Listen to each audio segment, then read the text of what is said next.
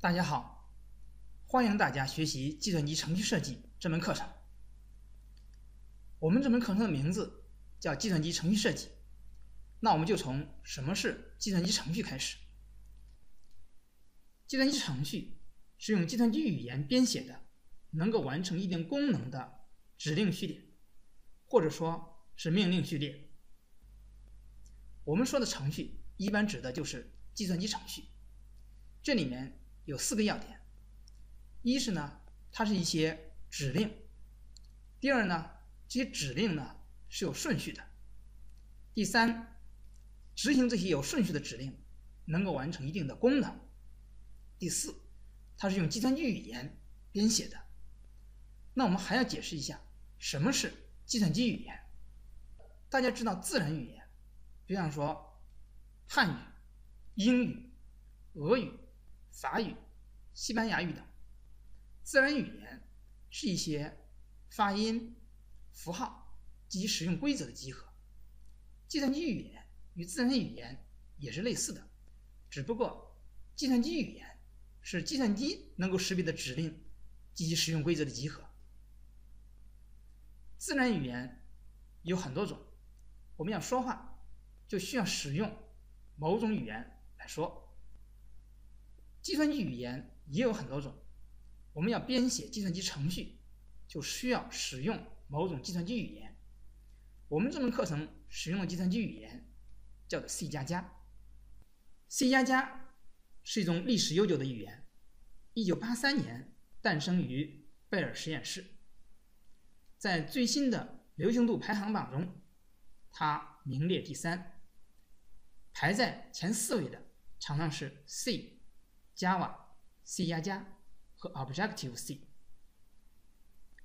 C 加加兼容了 C 语言，也就是说，用 C 语言编写的程序，在 C 加加的编译环境下，可以不需要修改就能够进行编译执行。C 加加是面向对象的语言，这个呢是与 C 语言不同的。C 加加是可以编写一些系统的程序。当然也可以编写应用程序。学习 C 加加有助于理解计算机的工作过程，深入理解计算机的原理和一些基本的概念。C 加加有不同的标准，也就是不同的版本。不同版本的 C 加加的规则稍有不同，一般是新版本兼容老版本的。尽管新版本有些地方使用起来。会更加方便，但是各行各业都有一些老版本的 C 加加的程序，一些编译器也只是老版本的，所以我们学习标准的 C 加加仍然是有必要的，也是基本功。我们说的标准的 C 加加指的是 C 加加九八这样一个标准。C 加加在科学计算。数据库程序、网络程序、自动控制和通信管理方面有着广泛的应用。知道了什么是计算机程序、程序设计，就好解释了。它是产生或者说是编写、设计、求解问题的程序的过程，也就是我们这门课程要学习的。为什么要学习程序设计呢？可以说。现在的计算机已经无所不能了，小到智能手机、智能手表、智慧家居，大到智能农业、智慧城市、太空探索。所有这些应用，计算机及其相关的设备是它的基础，软件才是它的灵魂。离开了软件，这些呢也都变成了僵尸。那么，软件的核心是什么呢？那就是计算机程序。尽管我们已经有很多软件了，但是这些软件仍然不能够满足我们的需求。我们编写的程序不但要是正确的程序，还要是好的程序，包括可读性好、易于理解、节省空间、节省时间、可靠性高、易维护等等。关于如何学习计算机程序设计？我们也给大家几条建议。学习的方法有两条，一是语法要熟。对于我们学习英语来说，没有一定的词汇量，我们就不知道要说什么。我们不懂语法，就不知道怎么说。对程序设计来讲，这倒不难，可以通过听讲、阅读教材、对语法点上机试一试，就能够解决。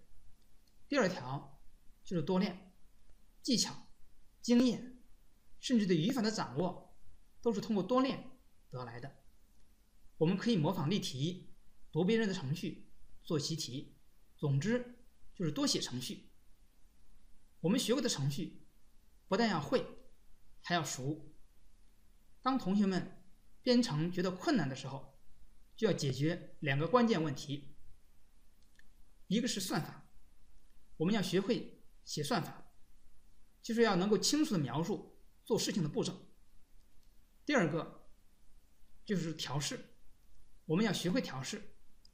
同学们常常遇到的问题是明明知道。程序是错误的，就是不知道错在哪儿了，裹足不前。我们学会了调试，这些问题就会迎刃而解。我们还有一条学习的捷径，那就是问。我们希望大家动脑筋，独立思考。但是呢，当你百思不得其解的时候，问是学习的捷径，可以问老师，问同学。问网络，还可以编一个小程序，上机试一试。大家要有信心，下一点功夫，讲一点方法，程序设计就能够学好。祝大家学习愉快！